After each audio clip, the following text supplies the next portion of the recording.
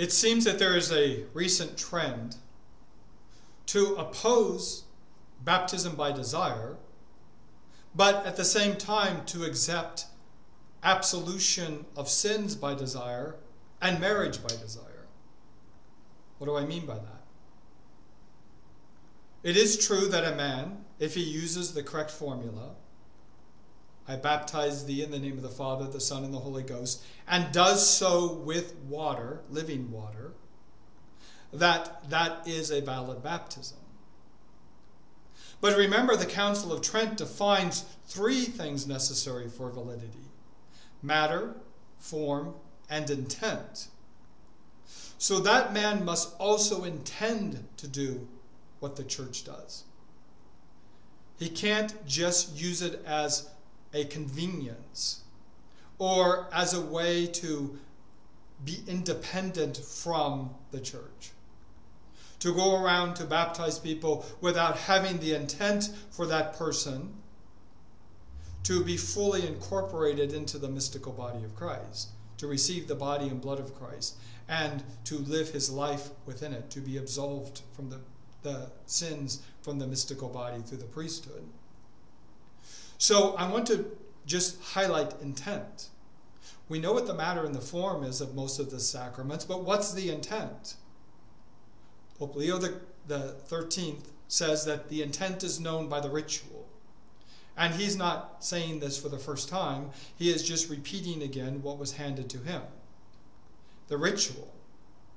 The ritual tells us what we intend to do. That it tells us that we intend to do what the church does.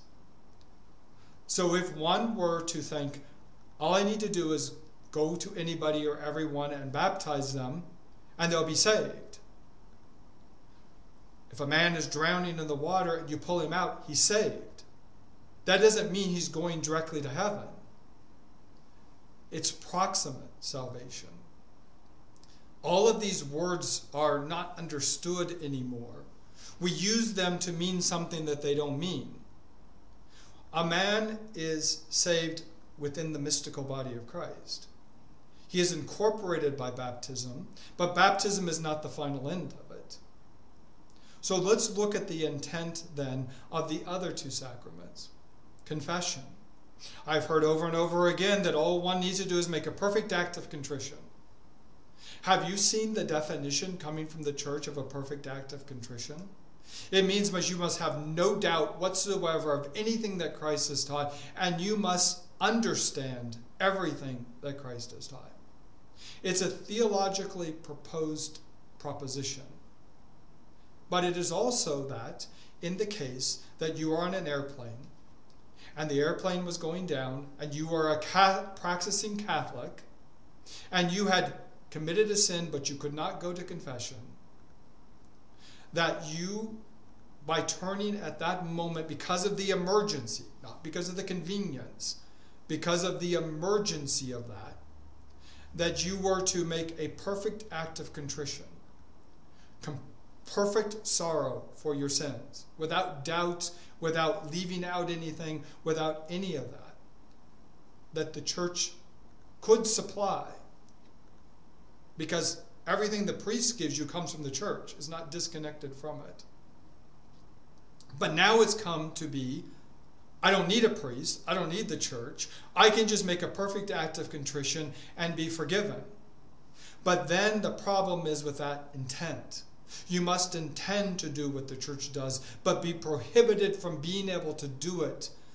So it's basically practically to say that no man can be an obstacle to you coming to the beatific vision. You're the only one that can. If it were that men were to lock you away, having committed a mortal sin, lock you away so that you could never get out, you would have no access whatsoever to a priest. And in there, you were able to make a perfect act of contrition, ecclesia supplet the church would survive, supply in that case. But men now have made it convenient. It's too inconvenient. It's too far away. I can't trust anyone. I don't know. I'm in doubt. whether that person actually has holy orders. I'm in doubt. Once you do that, no go. You must intend to do what the church does, but be prevented from doing it. Really being prevented. The same thing with missing Mass on Sunday. You must intend to do it and be prevented from doing it. Really prevented from doing it. God knows these things. The other part is marriage. Marriage is valid when two persons give themselves to one another, two baptized persons. That is true. But you must intend to do what the church does. It's a sacrament matter, form, and intent. The intent is in the ritual. The ritual is that you receive communion and have a sacramental marriage.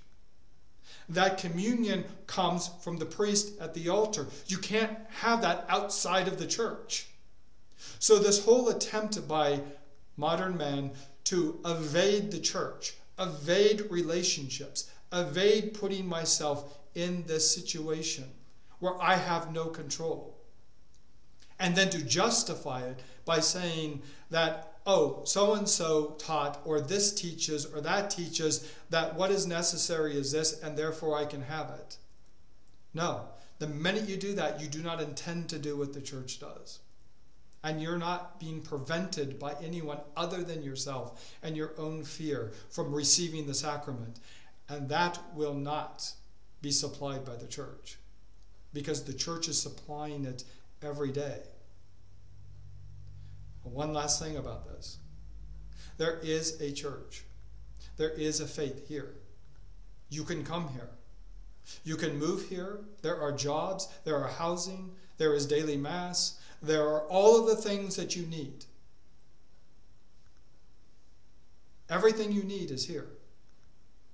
If you choose not to make that your first priority, then you cannot stand before God and say, I would have, but I couldn't, because you can. It's the same thing with baptism of blood and desire, right? There's no water. There's water everywhere. You can't use this excuse. So please do not fool yourself and justify your actions based upon a desire to remain independent and to not trust anyone. God has called us into a relationship. The church is a relationship. It is a relationship not based upon a contract, an exchange of goods, but a covenant, an exchange of persons.